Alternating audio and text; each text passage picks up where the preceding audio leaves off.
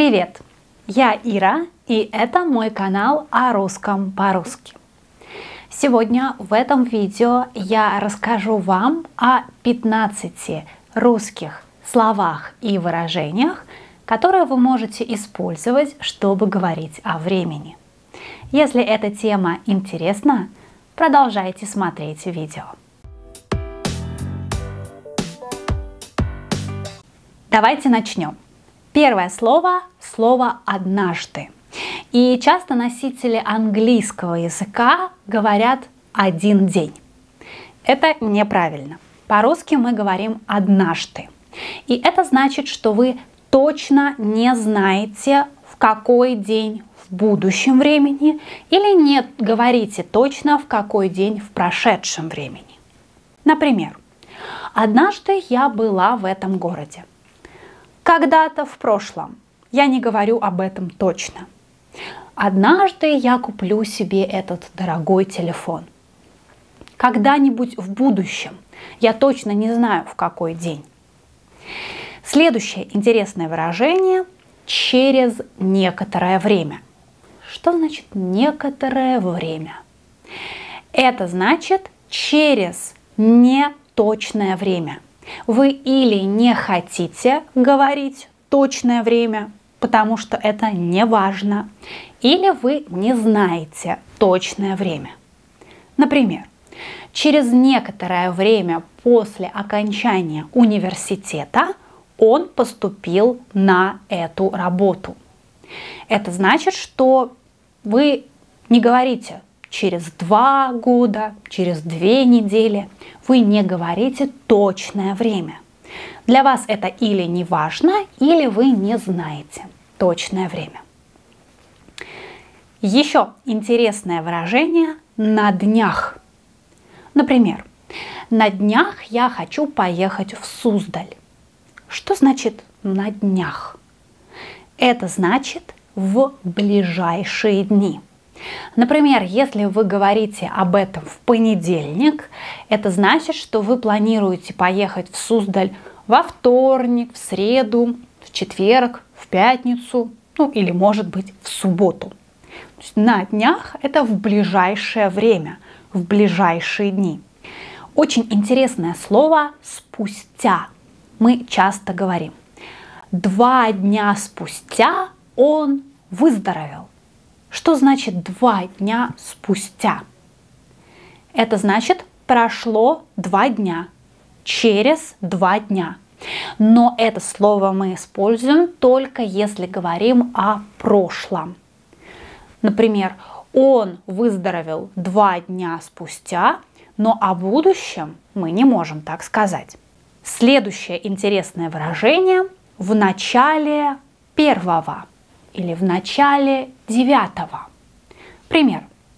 Когда ты уезжаешь из дома? В начале девятого. Что это значит в начале девятого? Это значит, что будет начинаться девятый час. То есть будет 8.01, 8.02 или может быть 8.20. Это начало девятого не середина и не конец. Вы можете посмотреть мое видео о порядковых числительных, а также можете посмотреть мое видео, где я рассказываю, как мы говорим о времени. Следующее интересное выражение – около часа, около двух часов, около пяти минут. Что это значит? Да, это значит не точно 5 минут или не точно час. Примерно час. Может быть 58 минут или 59 минут. Мы ждали его около часа. То есть не точно час, примерно час. И еще очень интересно, как можно сказать о том, что вы не говорите о точном времени. Вы можете сказать 5 минут назад или вы можете сказать минут 5 назад. Если вы используете первый вариант, вы говорите точно 5 минут назад. Если вы говорите минут пять назад, это значит примерно пять минут назад, не точно. Например, он ушел пять минут назад. Я смотрела на часы.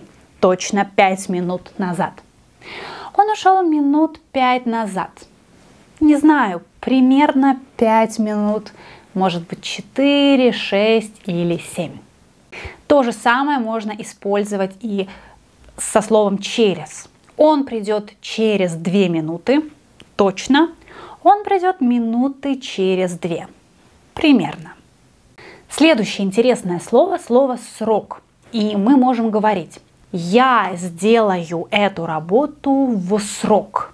В срок. Что значит в срок? Это как синоним вовремя. То есть это значит, что я закончу делать работу тогда, когда нужно закончить. И если мы с вами уже сказали о слове вовремя, я должна рассказать вам о том, какая разница между вовремя и во время. Вовремя значит в это время, не опаздывая. Он пришел вовремя, он не опоздал. Во время чего? Во время концерта я была счастлива. Это значит в то время, когда шел концерт. Надеюсь, теперь разница понятна. Еще очень интересное использование дат вот такое.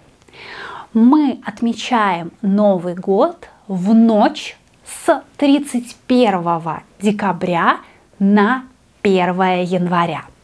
В ночь с на. Мы так говорим, чтобы показать дни, между которыми находится ночь. И здесь я также расскажу вам об интересном слове «накануне». Накануне значит незадолго до какого-то момента. Обычно это день перед этим днем или перед этим моментом. Например, накануне Нового года все готовят вкусные блюда для новогоднего стола. Предпоследняя интересная фраза – одно время. Одно время я работала в туристической фирме. Одно время это значит какое-то время. То есть вы точно не называете. То есть какое-то время. И последнее, о чем я хотела сказать. Иногда мои студенты, когда им нужно время, чтобы записать какое-то слово, говорят мне один момент. Нет. По-русски мы говорим одну секунду или секунду или секундочку или одну минуту, минуту, минуточку. Это значит, что мы просим немного подождать.